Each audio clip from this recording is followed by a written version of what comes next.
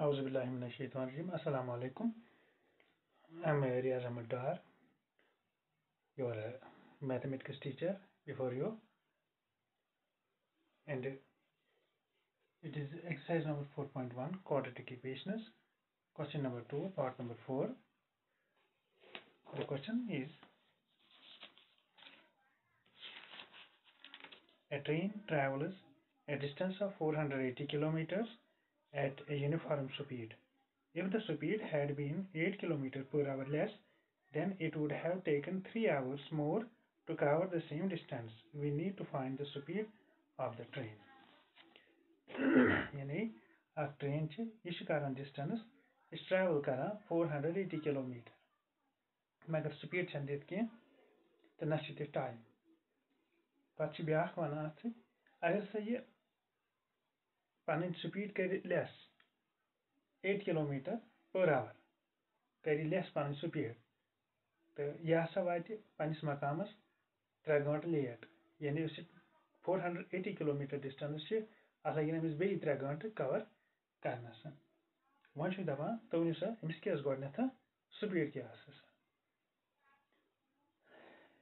ये distance travel वन अत बे चीज़ अ गो वेलासिटी या स्पीड बेस वन टाइम क्या लोगस that is गोडनेथन distance travel distance is equal to distance solution distance is equal to 480 kilometer वहाँ इस पान टाइम हसा let let time is equal to time is equal to 2 hour t hours और हम इसकी स्पीड जो है speed is equal to U kilometre per hour ये हम देखते हैं। देयर फोर तो फिर क्या है we know speed is equal to distance divide by time taken distance travel divide by time taken speed is equal to distance divide by time और speed speed means U is equal to distance distance means four hundred eighty four hundred eighty divide by time minus T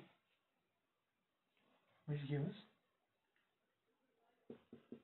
T को इधर लेते हैं। Four hundred eighty divided by U तो इस तरह हमें इसको हम लिखते हैं इक्वेशन फ़र्स्ट तो इस तरह हमें ये इक्वेशन निकली T is equal to four hundred eighty divide by U और इसके बाद again after decreasing the speed by eight kilometre speed is equal to speed is equal to तो उसकी स्पीड पहली स्पीड से एट किलोमीटर कम हो जाती है। यानी पहली जो स्पीड होती है, वो क्या होती है? यू इस तरह उसे एट किलोमीटर कम मीनस यू माइनस एट और जो उसका टाइम है and T is equal to T is equal to T इसका ज़्यादा लगता है टाइम यानी time is equal to T I M time is equal to T plus three जो टाइम होता है अब लगता है, वो तीन घंटे ज़्यादा लगता है। तो अब क्या होगा? देयर फोर अब स्पीड निकालेंगे दोबारा। हम speed is equal to distance divide by time तो स्पीड है u minus eight is equal to distance travel वो पुरानी ही डिस्टेंस है 480 डिवाइडेड बाई टाइम टाइम है t प्लस थ्री अब इसको सॉल्व करेंगे। इसका मतलब है u माइनस एट यहाँ है T plus three is equal to four hundred eighty अब इसको सॉल्व करना है। कैसे? इसको इसके साथ और इसको इसके साथ मल्टीप्लाई करेंगे क्या हो गया? और फिर इस यू टी यू टी और फिर three U plus three U और उसके बाद क्या आएगा? इस एट को इसके साथ मल्टीप्लाई होगा, इस एट को थ्री के साथ। ये क्या हो गया? Minus eighty eighty minus plus हो गया minus eight multiply three twenty four is equal to four hundred eighty तो इसके बाद है यू टी टी को हम इस यहाँ से जो फ़र्स्ट में है substitute T is equal to four hundred eighty divide by U from first substitute u is equal, t is equal to 480 divided u from first. फिर क्या होगा?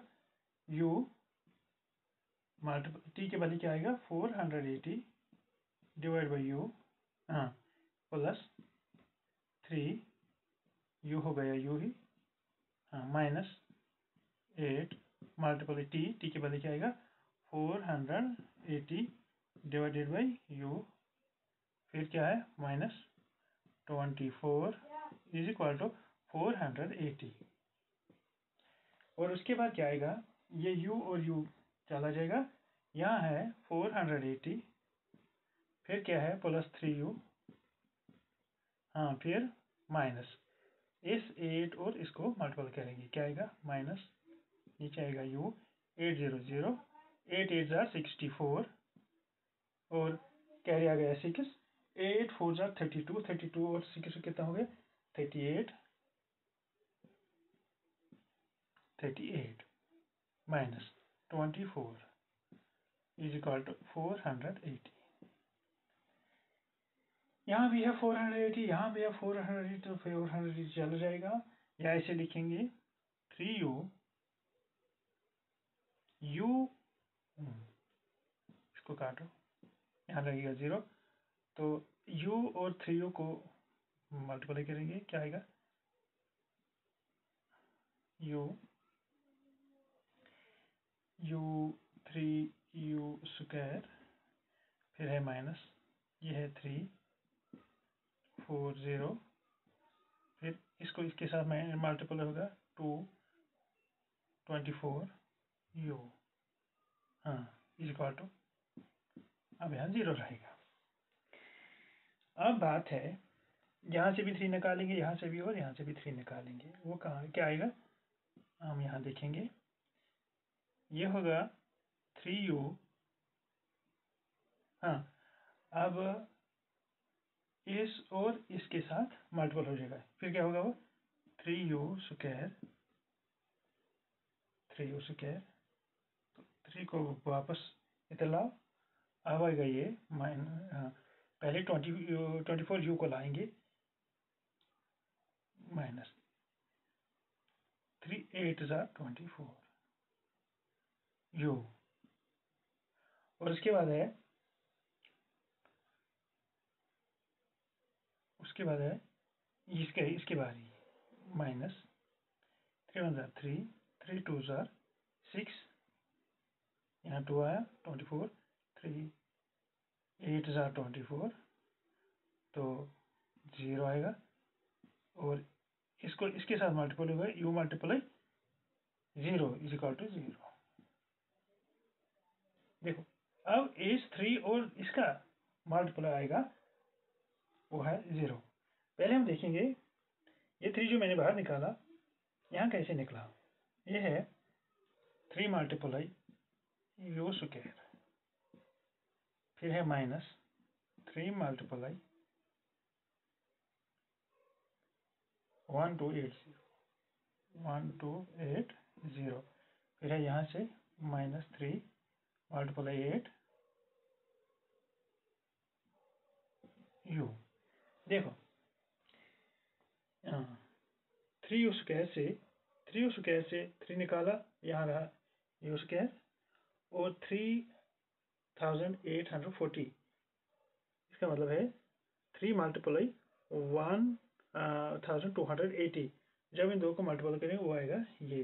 तो ये थ्री बाहर निकालेगा तो अंदर आएगा one thousand two hundred eighty तो फिर इसकी बारी है थ्री बाहर आएगा, यहाँ अंदर रहा eighty four eight sorry eighty four नहीं है एटी फाइव तो अब है। इसको, इसका मल्टीपल है ज़ीरो है। But three is not equal to zero but three is not equal to zero ये तो ठीक है। थ्री इज़ नॉट इक्वल हम जानते हैं कि three is equal to zero नहीं है। तो फिर ये ज़ीरो के बराबर होगा। क्या? U square there four U square minus eight U minus one thousand twelve hundred eighty is equal to zero यानी जब दो नंबर्स का मल्टीपल ज़ीरो होता है उनमें एक ज़रूर ज़ीरो होता है तो दूसरा नहीं हो सकता है। तो इसका मतलब है कि अब इसको सॉल्व करना है। यह एट यू एट यू अब इस ए, इसको ऐसे सॉल्व करेंगे हाँ अब हम करेंगे इसको सॉल्व कैसे करें? सुप्रीम मिडिल टर्म यानी जो माइनस एट यू है इसको तोड़ देंगे, इसको सपोर्ट करेंगे। यू स्क्वायर तो फिर क्या है? Minus eight U eight U को माइनस एट यू को कैसे तोड़ देंगे? तो इसका ऐसे हम करेंगे, हम 40 से 32 माइनस करेंगे। Minus 40 U minus 40 U plus 32 U minus 100 1280 is equal to 0 देखो, इसको ऐसे तोड़ना है कि इनका जो प्लस होगा, वो एट यू आना चाहिए। और उनका जो मल्टीपल होगा तो इसका कोफिशिएंट और इसका जो मल्टीपल होगा, यानी ए और सी का मल्टीपल होगा, वो यानी वो जो इन दो पार्ट्स का मल्टीपल है, वो ए और सी के मल्टीपल के इक्वल टू होना चाहिए। तो अगर हम 40 और 32 को मल्टीपल करेंगे वो ज़रूर आएगा 1280 हम्म फिर क्या होगा? U स्क्वायर अब यहाँ से यहाँ से यू बाहर निकालेंगे। यू अंदर रहेगा ए क्यू और माइनस यू बाहर आया है, वो है 40 अब है plus thirty two plus thirty two अंदर रहेगा यू तो यहाँ क्या रहेगा? अगर हम फोर्टी और थर्टी टू को मल्टीप्लाई करेंगे, वो आएगा one thousand two hundred eighty तो फिर यहाँ रहेगा forty minus forty is equal to zero